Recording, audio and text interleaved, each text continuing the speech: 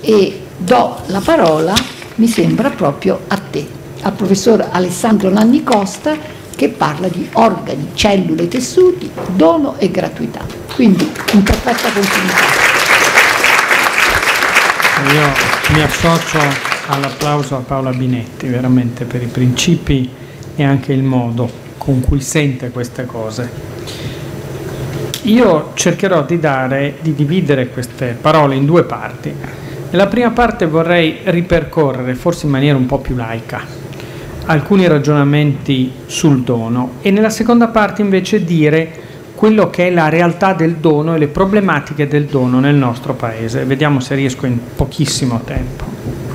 Intanto definisco, parlando in maniera meno, eh, diciamo, anche colta se vogliamo, in maniera più diretta, quello che è il limite che noi ci dobbiamo dare, il piave, il paletto. La donazione deve essere anonima, libera e gratuita.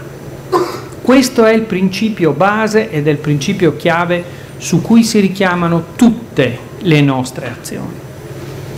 E poi l'altra definizione importante è che la donazione non è un contratto e quindi vediamo un donare libero assolutamente a differenza di un dare che invece aspetta sempre un'attesa. Quindi donare significa consegnare un bene nelle mani di un altro senza ricevere alcunché in cambio. Questo è il punto chiave da cui ci muoviamo.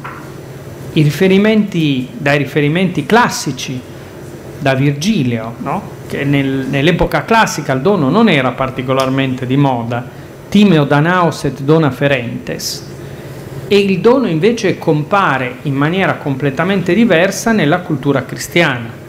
Dal donare, che è più gioia che ricevere, è San Paolo, ma delle immagini teologiche che abbiamo chiarissimamente nella risurrezione, che è il dono della vita, e anche nella distribuzione del pane all'ultima cena.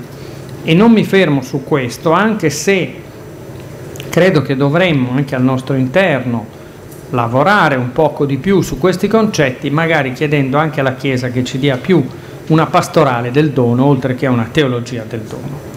Tornando invece più direttamente al nostro argomento, io credo che dobbiamo anche immaginare, per capire quello che è il dono oggi, immaginare quello che era il dono come bene sociale, che è una dinamica che parte agli inizi del, dell'Ottocento e del Novecento con i benefattori e che ci porta in qualche modo al dono come bene pubblico e in questo caso il dono biologico, come interessa a noi, come bene pubblico. Quindi bene pubblico che deve essere governato come bene sociale, ecco allora anche un ruolo delle associazioni di lavorare per il governo e per la facilitazione che c'è tra portare il dono dal cittadino alle istituzioni, ma un obbligo per il governo di garantirlo e all'articolo 32 della Costituzione il diritto di garantire il dono agli indigenti.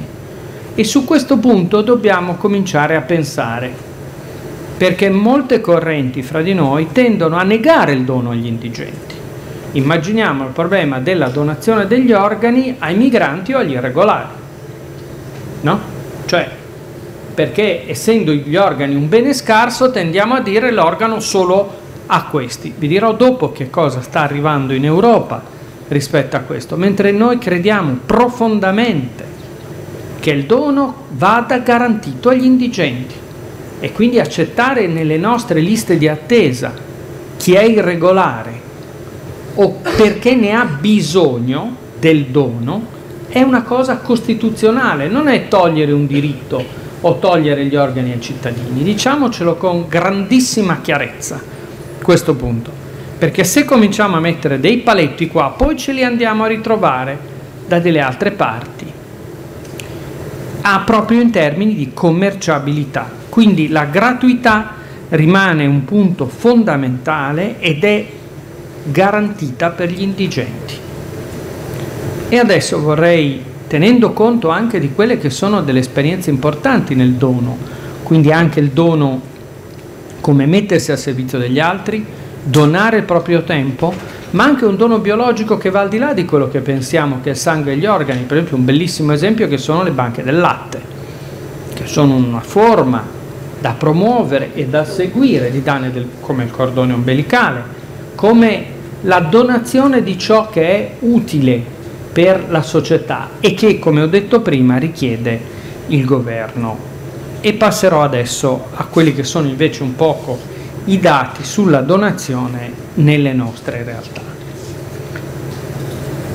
E parliamo della donazione da cadavere e da vivente, do pochissimi numeri.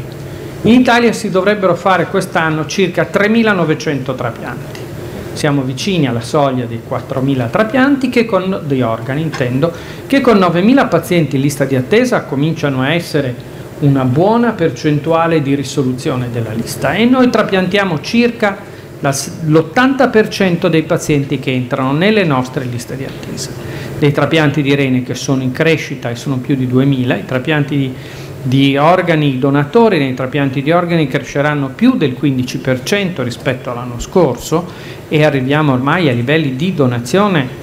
Tra i grandi paesi, ormai dovremmo essere pari alla Francia. Quest'anno e secondi solo alla Spagna e cominciando anche tipi di donazione come la donazione di organi dopo l'accertamento a cuore fermo, quindi con un sistema che diventa sempre più complesso ma che offre sempre più possibilità. Qualche altro numero, i donatori da vivente di rene saranno circa 300, qualche unità i donatori di fegato da vivente, ma anche qui c'è un'azione dell'aumento del trapianto da cadavere che indubbiamente in qualche modo riduce o limita un poco queste necessità. Abbiamo in Italia oltre 15.000 trapianti di tessuti, vengono fatti oltre 5.000 trapianti di staminali emopoietiche, dei quali più di un migliaio, 800 da donatore da registro, chiamiamolo così, e diverse centinaia da donatore familiare, ormai con la possibilità che aumentino le donazioni di, di staminali emopoietiche da quello che viene definito donatore semicompatibile, leggi il genitore, la maggior parte dei figli o qualche altro parente. Quindi ormai il problema del donatore, del ricevente che non ha più nessuna offerta di donatore, il malato la cui ricerca di donatore non ha risposto ormai comincia certamente a ridursi in modo notevolmente sensibile. E questo è grazie alle donazioni, grazie anche ai, lo dico, 500.000 donatori da registro che abbiamo e avremo in Italia. 500.000 non è poco. Quindi partiamo da delle buone basi e sotto questo aspetto abbiamo attenzione.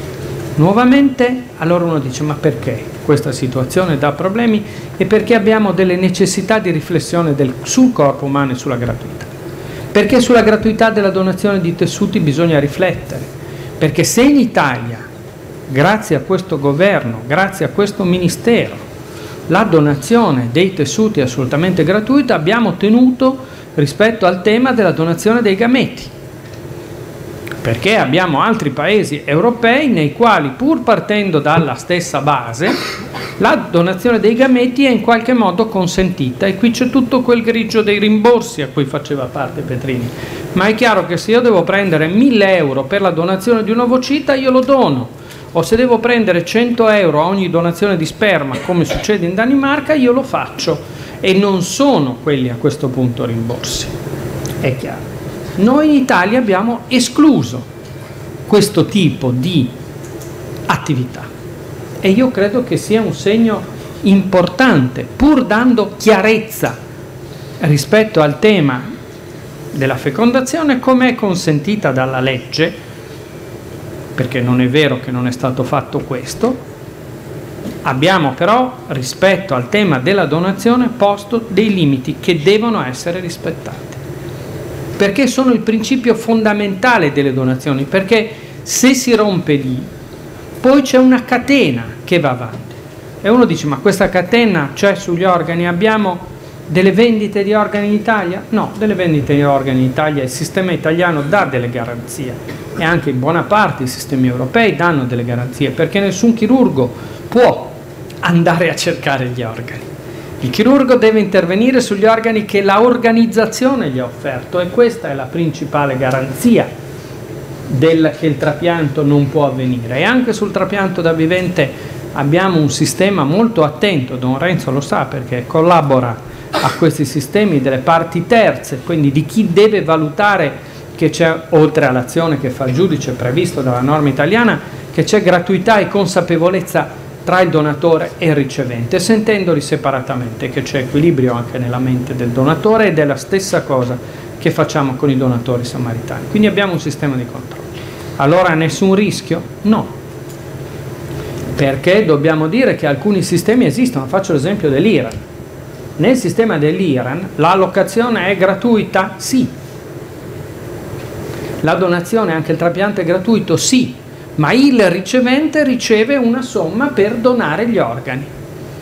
Lo riceve pubblicamente, ma è chiaro chi darà e chi cercherà quella somma. La cercheranno le persone che sono più fragili, le persone che ne hanno bisogno. E quindi usciamo, in omaggio a un teorico principio terapeutico, usciamo dalla logica della gratuità ed entriamo in pieno in una logica della contrattualità ci sono diversi movimenti negli Stati Uniti che di volta in volta hanno riproposto il, la reimbursed donation, la donazione rimborsata con diversi vantaggi per chi doveva ricevere. E abbiamo recentemente, stiamo, ci sono degli articoli pubblicati sull'American Journal of Transplantation e c'è una recente review delle ultime settimane di un progetto chiamato GKE, Global Kidney Exchange, nelle quali un ricevente di un paese povero può ricevere l'organo negli Stati Uniti purché un donatore da lui ritrovato o identificato doni a un paziente iperimmunizzato e intrapiantabile degli Stati Uniti. C'è libertà, c'è gratuità, laddove io devo trovare per la mia cura e la mia salvezza un ricevente da vivente, prima o poi lo trovo e diventa difficile immaginare che questi siano anche modelli per lo sviluppo della trapiantologia nei paesi che ne sono oggetto. Il progetto è presentato su articoli pubblicati dell'American Journal of, of, of Transplantation del 2017 dal gruppo di RIS, quindi sono ritrovabili e citabili e c'è un premio Nobel che sostiene Alvin Roth, pubblicato anche questo, che sostiene che grazie al risparmio degli anni di dialisi si riesce a finanziare il trapianto del paziente filippino, non solo il trapianto del paziente americano, ma anche il trapianto del paziente filippino e la cura del paziente filippino. L'American Journal ha un review recente che dice che gli si riescono a dare anche diverse migliaia di dollari dietro perché hanno accettato di fare questo. Quindi vediamo che questo termine della gratuità e della libertà del dono non sono qualcosa di scontato, non sono qualcosa di matematico, ma sono qualcosa che deve incidere profondamente sulle nostre coscienze e che deve diventare, lo ripeto, un patrimonio pubblico, deve diventare un gesto di solidarietà comune, non tanto un gesto di amore speciale, ma un gesto di solidarietà necessario che può essere governato dal sistema e la, la, Costituzione sugli indigenti è chiarissima, ma è chiaro che l'offerta di un bene raro, di un bene importante, raro in senso lato, ma scarso per quanto riguarda gli organi, deve necessariamente essere governata e controllata. E credo che ci sia un apporto delle associazioni e una responsabilità delle istituzioni che va fatta. Allora i principi, le zone grigie di cui parlava Carlo prima, non sono principi astratti, sono concretezza che noi dobbiamo cogliere quotidianamente e che dobbiamo difendere nella società. La società ha sempre più bisogno del dono. Dire che ci sono delle malattie che curiamo solo con gli organi è tuttora drammaticamente vero, ma è quasi una limitazione, ovviamente è vero noi dobbiamo tenere il dono come valore sociale dalle banche del tempo, alle banche del latte, perché proviamo anche a ragionare su qualcosa che sia anche un attimo al di là delle nostre funzioni. Non entro nel termine del sangue di cui parlerà Giancarlo adesso, ma intendo dire che il dono gratuito e anonimo rappresenta, ho apprezzato molto quello che ha detto la, la, la dottoressa Tamburrini prima, sull'anonimato del dono. No? Io non devo avere attese quando dono qualcosa e se dono un mio familiare devo essere vagliato sulla gratuità di quello che sto facendo.